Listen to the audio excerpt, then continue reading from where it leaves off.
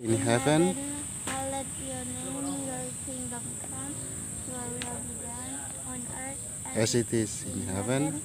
Give us this day our daily bread and forgive us Our debts debts as we forgive our debtors. And do not let us into temptation, but deliver us from the evil one. For yours is the kingdom and the power and the glory forever. Amen. Thank you. Lights it.